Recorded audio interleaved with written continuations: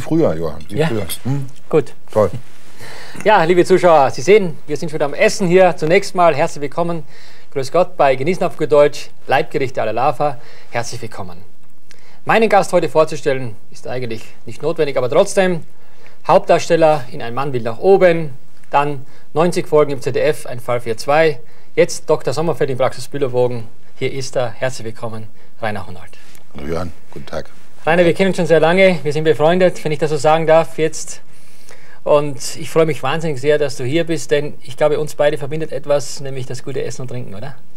Nicht nur, aber das ist schon ein wesentlicher Punkt, das finde ich auch. Ja. Ich sage immer, du bist der beste Koch unter den deutschen Schauspielern. Oh, das höre ich gern. Ich kann äh, Kompliment zurückgeben, du bist der beste Schauspieler unter den deutschen Köln. Gut, ja, unsere Zuschauer wissen das mittlerweile. Wir haben ja hier eine Sendung Leibgerichte à la Lava, das heißt, du hast uns auch diesmal freundlicherweise verraten, was dein Leibgericht ist. Es ist nämlich ein gebackener Fisch und dazu ein Kartoffelsalat. Warum gerade das?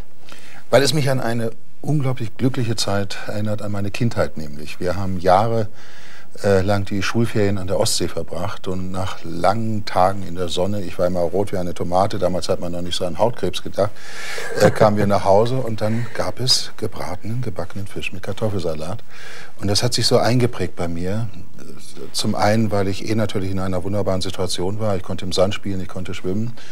Äh, Ich war so gut drauf. Und dann äh, gab es noch Lebensmittel, die gut waren. Der Fisch wurde morgens äh, vom, vom Fischer gekauft, der, der nachts gefischt hatte, ähm, in den Kühlschrank gelegt und dann haben wir ihn am späten Nachmittag gegessen. Und das war eine so schöne Situation. Wir waren alle zusammen, wir hatten schönes Wetter. In der Kindheit nimmt man das ja mal alles ganz intensiv wahr. Also es war so eine Art Paradies. Und immer wenn ich sowas bekomme, muss ich daran denken. Und ich muss dir ein Kompliment machen, das schmeckt wirklich so wie damals. Ja. Was man so zwischendurch als gebratenen Fisch bekommt, das ist ja oft ein bisschen was anderes. Ich meine, du bist ja sehr erfolgreich, das muss man ja nicht besonders betonen, das wissen auch unsere Zuschauer. Was ist das Geheimnis von deiner Honold? Ach, also was den Beruf betrifft, ähm, glaube ich, dass ich mich nicht verstelle. Ich bin in meiner Art zu spielen immer sehr dicht an meiner eigenen Persönlichkeit dran. Und ich habe Glück gehabt. Diese Persönlichkeit scheint in die Fernsehlandschaft zu passen. Also wenn ich mich jetzt ständig verstellen würde und äh, mich als Sympathieträger, so heißt mein Fach, es ist ein komisches Wort, aber als solcher werde ich immer besetzt, mich als Sympathieträger nur gebären würde, das äh, würde mir auf Dauer niemand glauben. Seit fast 25 Jahren glaubt man mir aber, was ich spiele, da habe ich einfach Glück gehabt. Ja, jetzt der Arzt mit sehr viel Einfühlvermögen. Aber vielleicht was anderes. Ich meine, wir haben ja schon viele Stunden gemeinsam verbracht. Was mich so fasziniert, ist, dass du wirklich, wenn man das sagen kann, isst und trinkst mit absoluter Leidenschaft. Woher kommt das denn so? Es sind nicht die einzigen Leidenschaften, aber wenn ich Ja, Dinge gern, gut. nein, gar keine Zote, also ich fahre auch leidenschaftlich gern Motorrad zum Beispiel. Das ist, es ist einfach, wenn mich etwas interessiert, äh, wenn etwas gut ist für mich, dann betreibe ich das sehr intensiv. Ich bin ein absolut genussfähiger Mensch und Essen und Trinken, das sind Dinge, die für mich fast meditativen Charakter haben.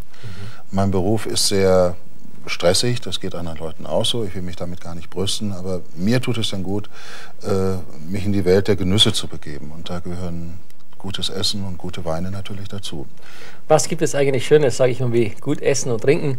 Aber könntest du dir vorstellen, jetzt zum Beispiel aus diesem klassischen Essen, Kartoffelsalat und diesem gebackenen Fisch, mal was anderes zu machen?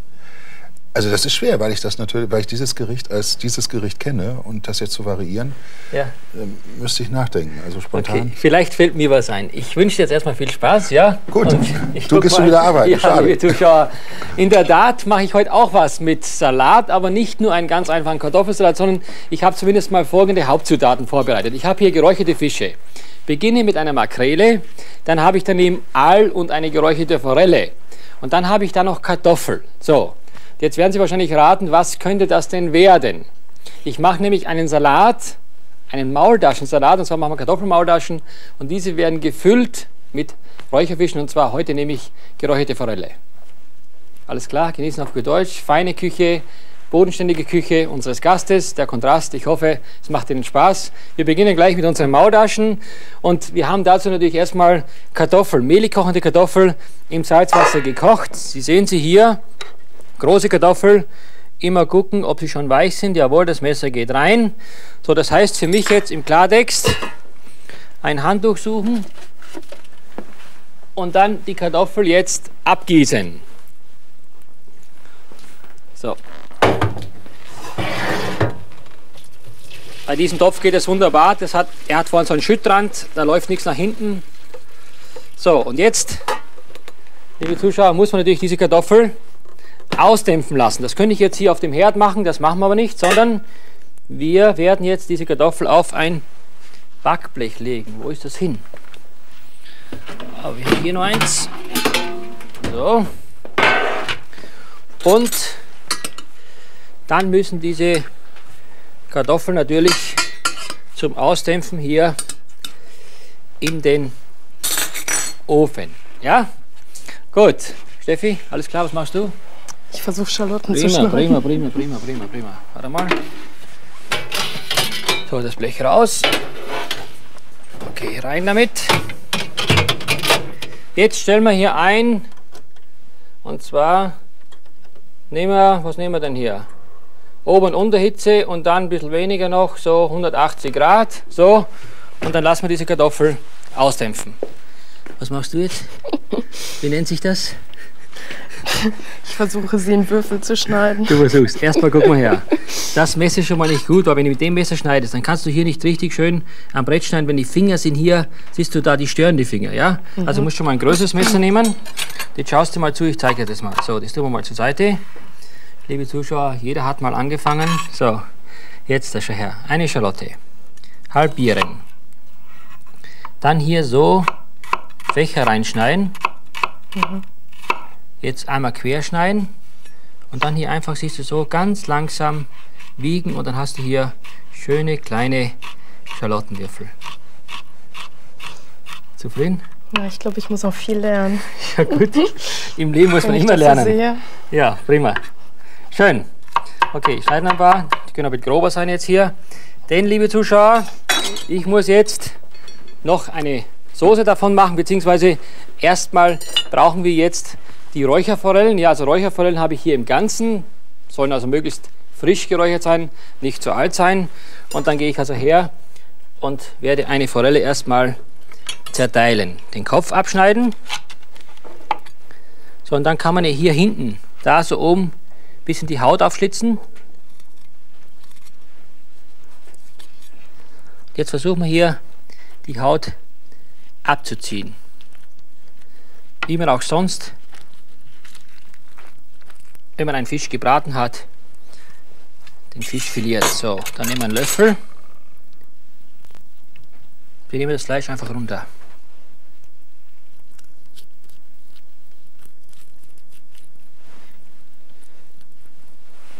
Und geben das schon mal in eine Schüssel. Und Vorsicht, dass keine Gräten reinkommen. Die Rückseite genauso. So, denn die Haut und das brauchen wir gleich. Mal gucken hier, ein bisschen höher schalten da.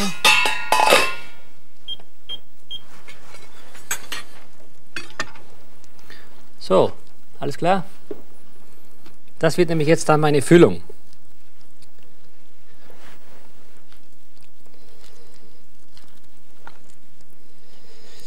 Wenn so viele Leute zuschauen, dann geht das wieder nicht runter hier. Okay, aber das reicht mir schon mal. Also Sie sehen jetzt hier, ich habe da richtig schönes, reines, geräuchertes Forellenfleisch für unsere Füllung nachher. Da kommt noch was dazu. Wir machen aber zunächst mal einen Ansatz, das heißt, wir machen so einen Fond von diesen Räucherfischgeräten, denn diesen braucht man nachher, um ein Sabayon aufzuschlagen, indem wir hier zunächst mal die großen und kleinen Schalotten von Johann und Stefanie in einem Topf mit heißem Butterschmalz anbraten. Dann geben wir dazu die ganzen Abschnitte hier, das heißt die Haut und den Kopf und die Gräten.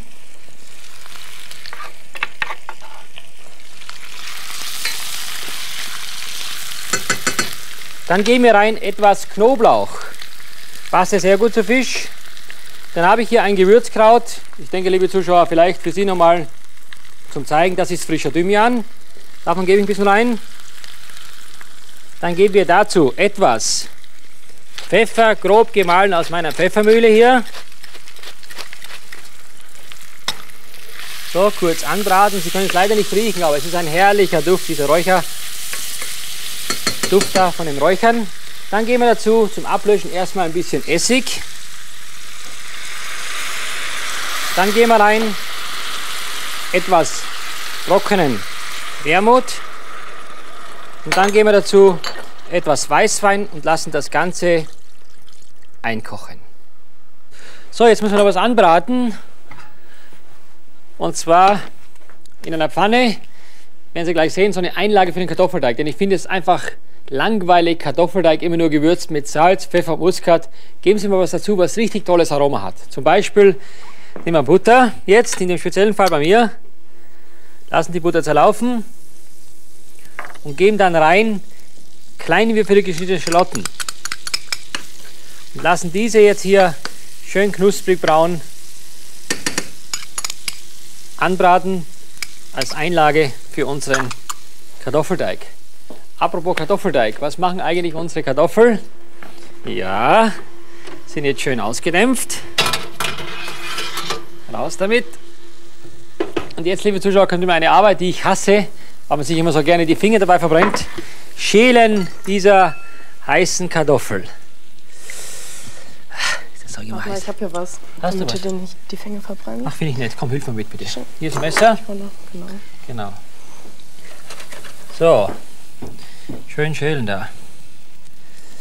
Gar nicht so einfach, ha? Ich glaube, in Handtuch geht es doch besser, ha? Das geht schon. Geht schon? Oh, ja. Wie geht's dir eigentlich? Gut. Gut? Mhm. Ich habe mal gehört, stimmt das? Was wer, denn? Wer heiß anfassen kann, kann heiß lieben. Was sagst du dazu? Nix? Ja, das ist schon eine sehr interessante Theorie. Ja? Du siehst, ich muss ein Handtuch nehmen, deswegen gar nicht so heiß anfassen.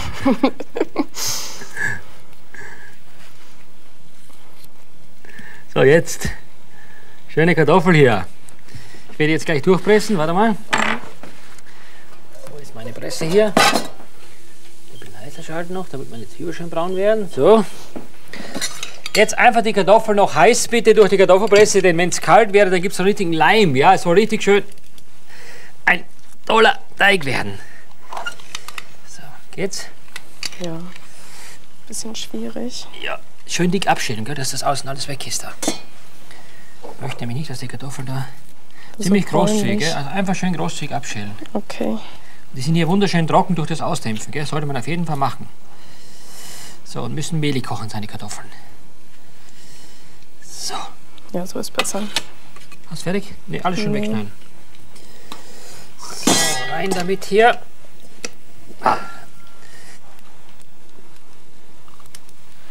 So. Okay. Ich würde sagen, das reicht jetzt hier. Die Kartoffeln waren sehr groß da. So, okay. Kannst du jetzt mitnehmen. Kannst du jetzt einen schönen Die Kartoffel, auch, ne? Da kannst du einen Salat von machen jetzt. Okay, alles klar. Was machen wir jetzt alles rein, liebe Zuschauer, in den Teig? Zunächst mal kommen rein Eigelbe. So.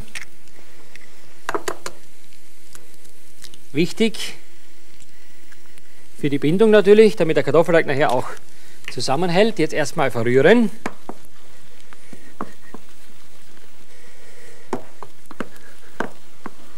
Dann geben wir dazu Petersilie, gehackt natürlich. Wir geben rein auch für die Bindung Stärkemehl, aber da je nachdem, wie feucht die Kartoffeln sind, nicht alles auf einmal reingeben. Je nachdem werden Sie gleich sehen, wie die Konsistenz wird. Zwischendurch schaue ich jetzt mal, was machen diese Schalotten. Sie sehen, die bekommen jetzt hier schon eine goldbraune Farbe. Wichtig für das Aroma. Wir würzen dann den Teig mit Muskatnuss. Dann geben wir rein Salz aus meiner Mühle. Und zum Schluss natürlich jetzt das angebratene.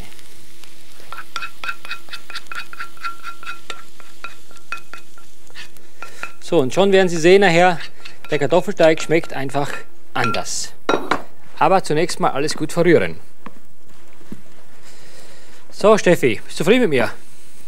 Ja, sieht gut aus. Bist du so nett und rollst den Teig jetzt mal bitte aus? Hier schön auf der Fläche da oben, guck mal hier mit Mehl, richtig schön dick einstäuben alles hier. Rollholz ist auch da hier. Ja? Da machen wir gleich, dann nachher füllen wir beide die Die Ravioli. Ravioli, ja? Ja. Mit was füllen wir sie? Sie wissen ja noch, Räucherforellenfilets ohne Gräten sehen Sie hier etwas zerdrücken mit einer Gabel. So, dann geben wir dazu für mich ein ganz tolles Gewürzkraut, nämlich Basilikum. Basilikum einfach dann in so feine Streifen geschnitten, ja? Und diese Streifen geben dem Ganzen nachher so ein tolles Aroma. Ebenfalls rein gebe ich etwas Creme Fraiche und wir geben noch dazu ein bisschen was Scharfes, Chili aus der Gewürzmühle. So. Das jetzt schön gut verrühren.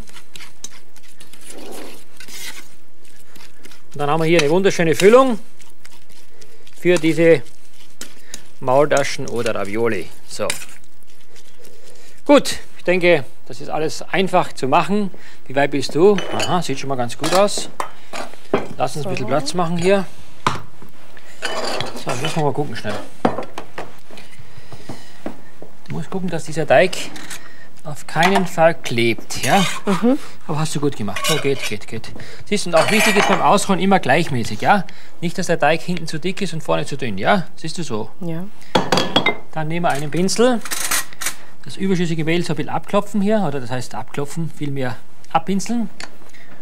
Machen darauf jetzt hier solche Häufchen.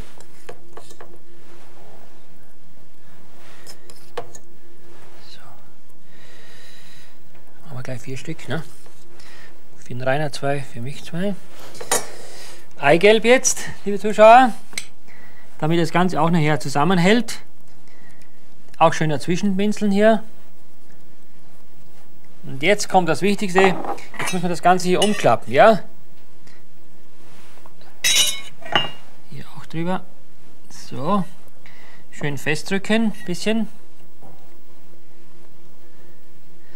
Und dann nehmen wir einfach so einen Ravioli-Ausstecher, kann man vielleicht mal zeigen, ja. Da ist also hier so ein Teil, das wird reingedrückt, ja, sehen Sie. Und dann kriegt man hier wunderschöne Ravioli. So, eins, zwei,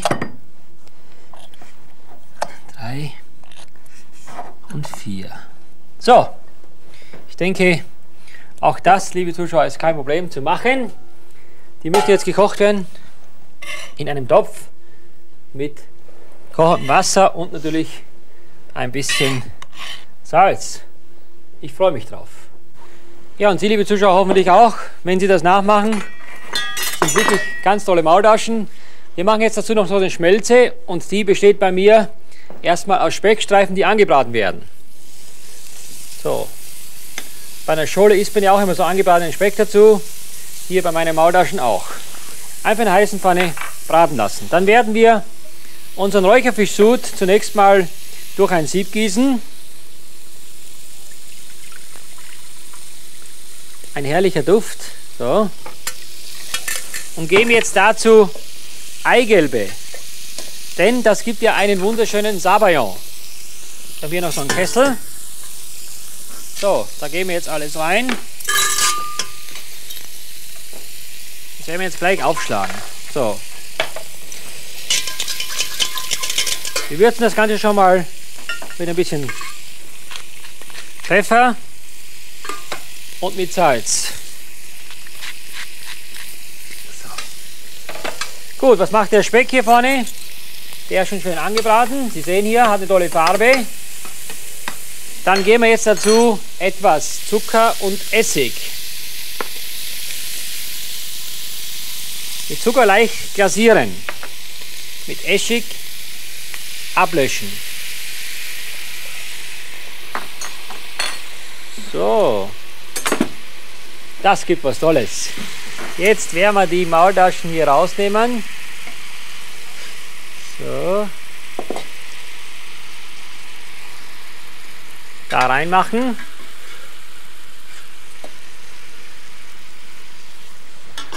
Und ganz langsam jetzt hier drinnen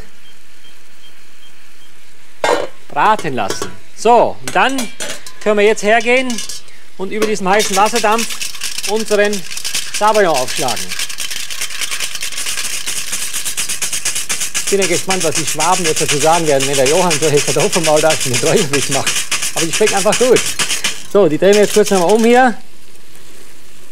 Ah, Herrlich, herrlich, herrlich, herrlich. So. Ah, der Essig. So. Langsam braten lassen. Sie sehen hier, der Sabayon hat eine wunderschöne Konsistenz. Runternehmen. Und jetzt einfach noch dazu langsam Rapsöl einlaufen lassen. Hervorragend schmeckt das.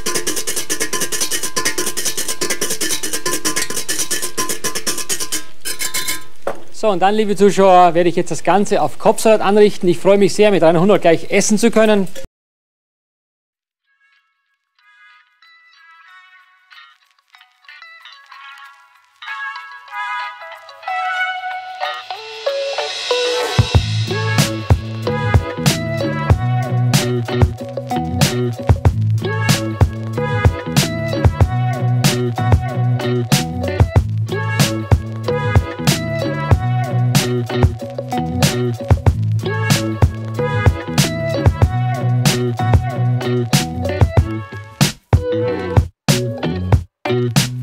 Sie, liebe Zuschauer, sollten nach wie vor wissen, dass unsere Rezepte in der Zeitschrift Essen und Trinken alle abgebildet sind. Dort ist alles ganz genau beschrieben, damit Sie das alles nachkochen können. Jetzt, Rainer, schaut's aus? Du, ich bin begeistert. Es ist erstaunlich, wie, wie raffiniert auf einmal so einfache Dinge wie Kartoffeln und Fisch schmecken können. Super. Ja, also ich denke auch, die Kombination mit diesem Sabayon und dann dieser gut geräucherte Fisch, das passt hervorragend zusammen. Und die leichte Säure durch den Essig, das Danke ist einfach schön, toll. Stephanie. So, lieber Rainer, unsere Gäste bekommen immer zum Schluss. Du siehst hier mm. ein schönes Geschenk und zwar eine salzende Pfeffermühle mit deinem Namen graviert. Das sollte ich immer an uns erinnern. Ich hoffe, dass du demnächst nur deine Speisen mit diesen beiden Mühlen wirst. Ab sofort. Ja. So. Ich danke dir. Was würdest du denn machen, wenn du jetzt äh, mit deiner Familie mal auf eine einsame Insel auswandern müssten? Oh, also ohne dir zu schmeicheln, ich würde den ganzen Stapel deiner Kochbücher mitnehmen, in der Hoffnung, dann endlich mal Zeit zu haben, richtig zu kochen. Ja, und ja. den Fisch selbst fangen und schön zuzubereiten. Ja. ja. Nein, es hat mir viel Spaß gemacht. Es war sehr schön, wie immer. Du bist einfach ein ganz toller Mensch. Alles Gute für dich. Und für Sie, liebe Zuschauer, auch alles Gute. Schön, dass Sie zugeschaut haben. Es hat uns Spaß gemacht. Kochen Sie es nach. Bis zum nächsten Mal. Servus.